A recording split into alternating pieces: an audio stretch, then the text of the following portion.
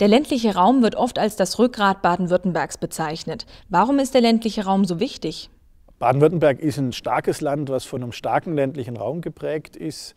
Bei uns sind die ländlichen Räume nah dran an den Städten in Wirtschaftskraft, aber auch in, äh, im Lebensumfeld. Und während andere Bundesländer in Deutschland oder während wir europaweit im Grunde starke Gefälle zwischen Stadt und Land haben, sind wir hier nah beieinander.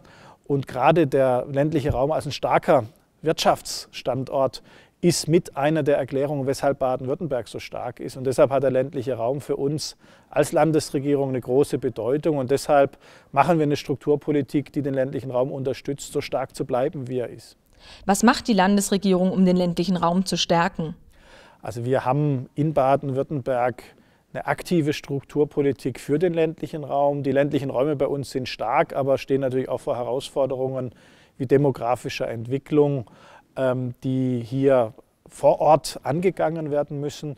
Und wir unterstützen die Gemeinden mit einer Vielzahl an Möglichkeiten, mit dem Entwicklungsprogramm ländlicher Raum, unserem zentralen Instrument in der Strukturförderung im ländlichen Raum, aber natürlich auch mit anderen äh, Instrumenten, wie beispielsweise Regionalentwicklungsprogramm LIDA, wie Fragestellungen des magischen Dreiecks, also im Zusammendenken von Landnutzung, Naturschutz und Tourismus, aber natürlich auch mit einer regionalen Schulentwicklung, die künftig dazu beitragen soll, dass trotz zurückgehender Schülerzahlen wir eine flächendeckende Schulstruktur im ländlichen Raum halten können.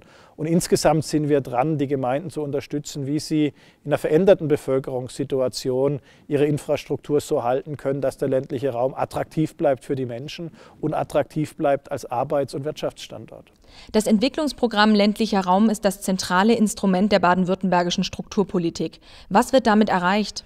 Mit dem Entwicklungsprogramm ländlicher Raum unterstützen wir als Landesregierung die Gemeinden im ländlichen Raum dabei, eigene Entwicklungskonzepte umzusetzen, sich weiterzuentwickeln, sich zu stärken im Bereich regionale Wirtschaft, im Bereich Erhalt der Ortskerne, damit setzen wir auch einen wichtigen Punkt für die Innenentwicklung, um den weiteren Flächenfraß einzudämmen.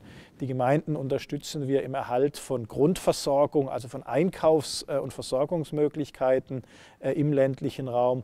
Und wir unterstützen Gemeinden dabei, wichtige Infrastruktur in der Gemeinschaftseinrichtung, also beispielsweise äh, Gemeinschaftsräume und ähnliches auch für den sozialen Zusammenhalt in den Dörfern und Gemeinden.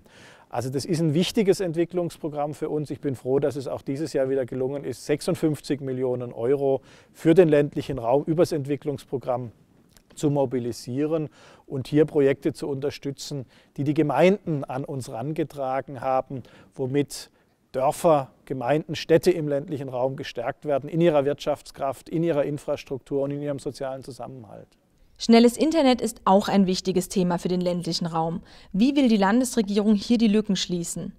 Also Internet ist ein ganz wichtiger Wirtschaftsfaktor, aber inzwischen auch ein wichtiger Faktor für die Menschen äh, in der Auswahl ihres Lebens- und Wohnortes.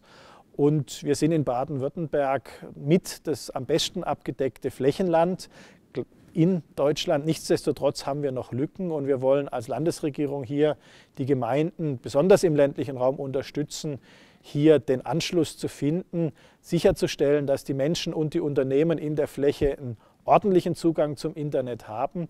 Wir haben die Breitbandinitiative 2 aufgelegt, wo wir in dem Rahmen, den uns das Europarecht ähm, zulässt, die Gemeinden unterstützen, eigene Breitbanderschließungen voranzutreiben.